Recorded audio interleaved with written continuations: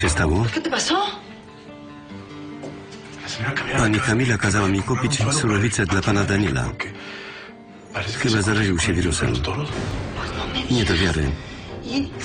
Więc może to spotkać każdego z nas. To się mogło stać przy pobieraniu próbek. Skaleczył się probówką. Fue el otro día que estábamos ahí sacando muestras de sangre y se, se cortó con uno de esos tubos. Ve, Mira, W każdym razie należy mu pomóc.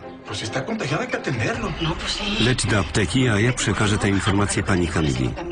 Y. To może być ważne. no.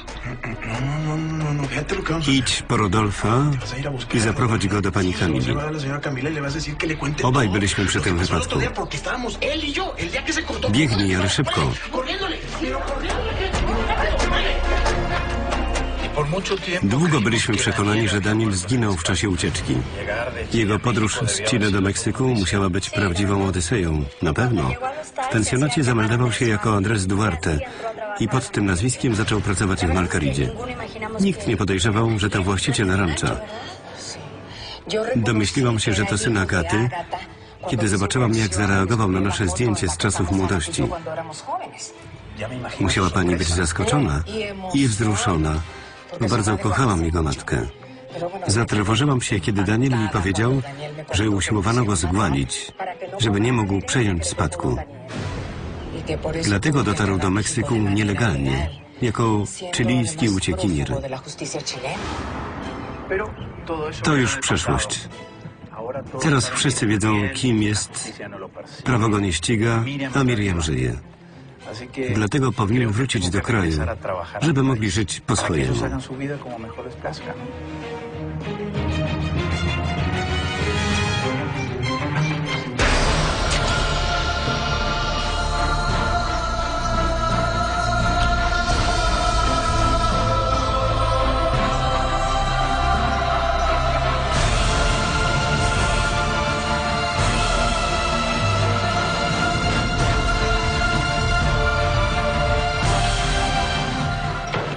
Witamy babciu. Witaj w swoim nowym domu.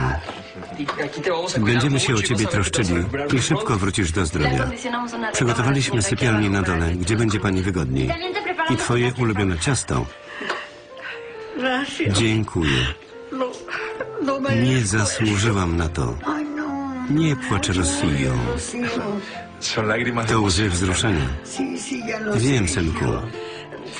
Ma pani ochotę na ciasto?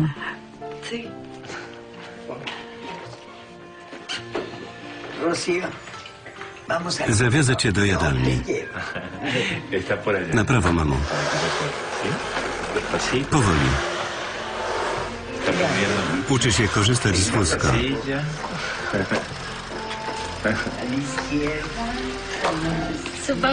Ty też masz pewnie ochotę na ciasto. Tak jak Y Teresa. Ona zostanie? ¿no Nie chcesz, żebym została? To rodzinne spotkanie, a y, ty no nie należysz do rodziny. Y I nie będziesz należała. Nie bądź niegrzeczna. No. Nie jestem, mówię prawdę. Lepiej sobie pójdę. No, no, no. Nie jest no powodowany. Tak będzie lepiej. Pożegnaj ode mnie wszystkich. Proszę cię. No Nie ma sprawy. Pensjonat jest obok. przekaż mamie, że ją odwiedzę. Odprowadzę cię. Nie trzeba. Brzydko się zachowałaś. Teresa interesowała się zdrowiem babci. Nie pozwolę, żebyś tak traktowała ludzi. Zadzwonisz do niej i ją przeprosisz. Zrozumiałaś? ¿Por qué no me dijiste que Daniel estaba Dlaczego nie powiedziałeś, że Daniel skaleczył się próbówką? Nie potraktowaliśmy tego poważnie. Powiedział, że wystarczyło myć ręce. ¿Sabes de lo que está Wiesz, co ci mówiłam. Na pewno się zaraził. Widzisz, co się stało? Co za głupota.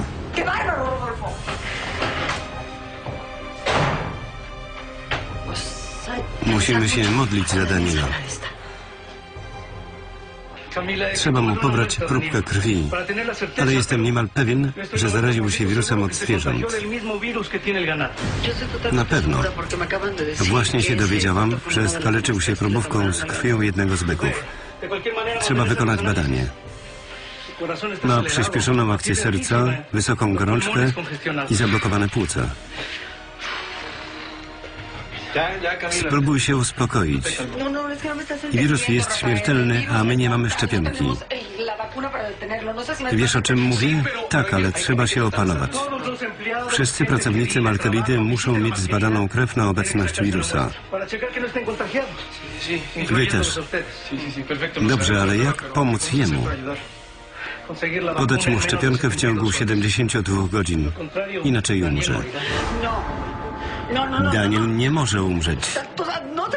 Nie może mnie to spotkać.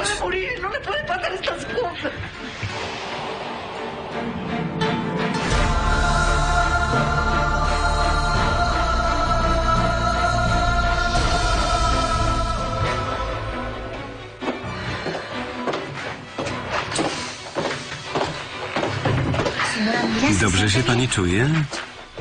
Jest pani blada. No, no, Tak. Położę się na darle chwilę, zanim wróci. Daniel. Zaparzyć pani ¿Quiere que me herbaty? No, no, no. Nie trzeba. No. Jak się miewa Agata? Dobrze, jest spokojna.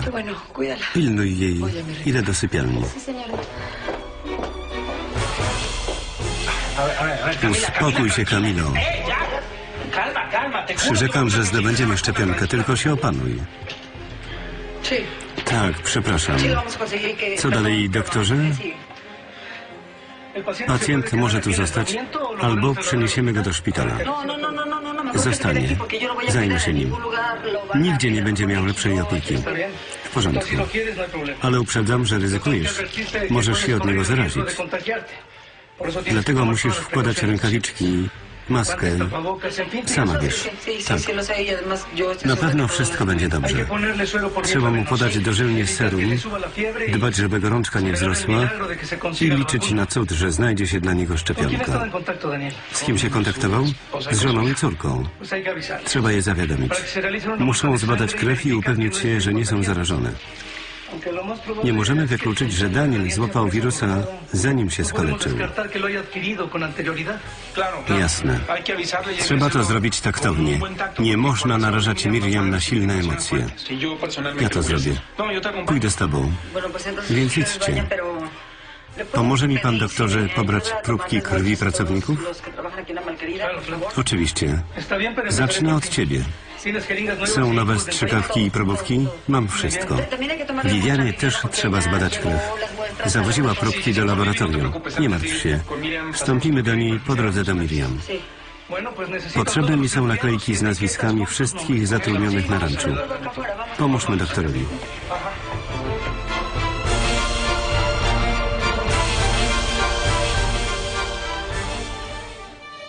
Muszę pilnie rozmawiać z inspektorem Farkasem. Jego komórka nie odpowiada. Dzwonię z Meksyku. Proszę mu przekazać, że siostra czeka na telefon. Gracias. Kiedy wróciłem do Santiago, Abraham mi powiedział, że Daniela oskarżono o zabicie Miriam i osadzono w więzieniu, skąd uciekł, kiedy się dowiedział, że jego żona i dziecko nie żyją.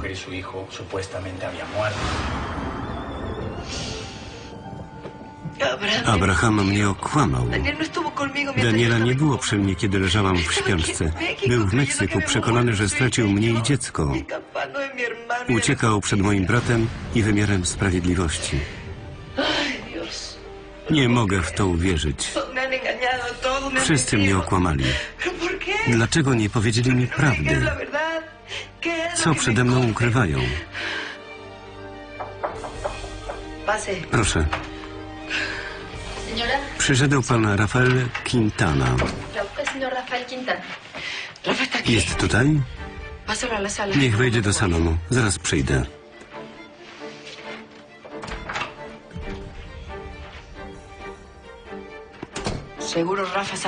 Rafa na pewno zna prawdę. Musi mi ją wyznać.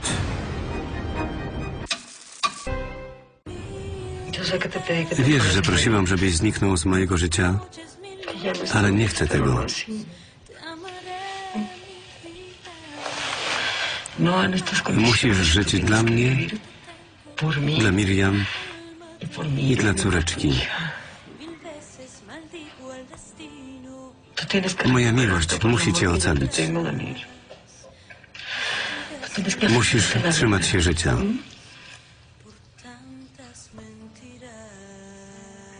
Dejes Nie poddawaj się.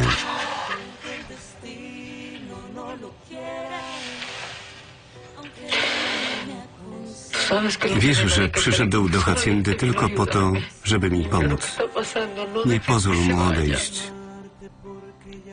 Ma małe dziecko. Pomóż mu, proszę.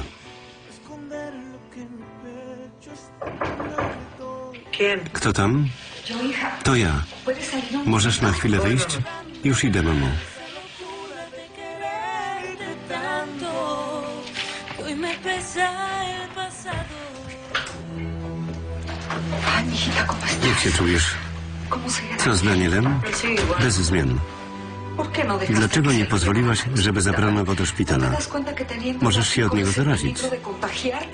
Wiem, no że ryzykuję, ale chcę tego. no Nie oburzaj się. Zostanie tu, dopóki nie wyzdrowieje. No A jeśli to nie nastąpi, wyzdrowieje. Przepraszam. Już nos pobrano nam krew. Rano dowiemy się, czy jeszcze ktoś jest zarażony. y no. Oby nie. Mam taką nadzieję. Wybacz mi.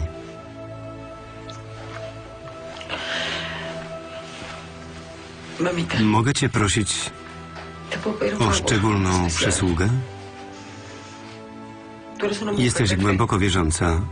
Chodzisz do kościoła. Bóg zawsze cię wysłuchuje. Chcę, żebyś go poprosiła, żeby Daniel nie umarł. No no Jeśli przeżyje, Przysięgam Tobie i wszystkim, że zwrócę mu wolność. No Nie będę rozpaczała i pozwolę mu odejść do Miriam y i do córki. Żeby tylko nie umarł. Proszę cię. Dobrze, córeczko.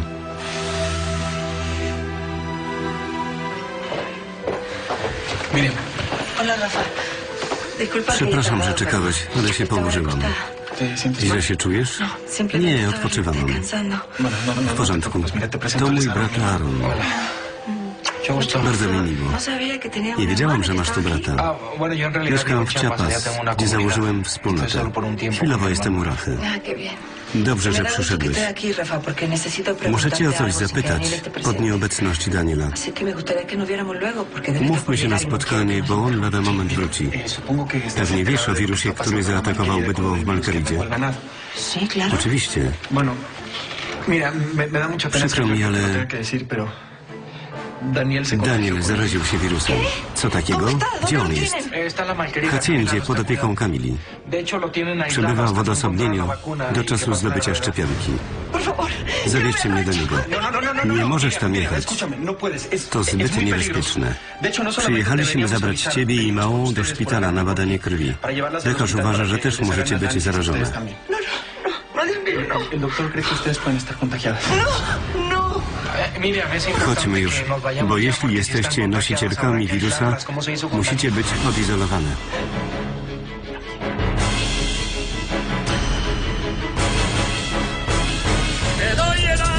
Wersja polska, Studio Publishing.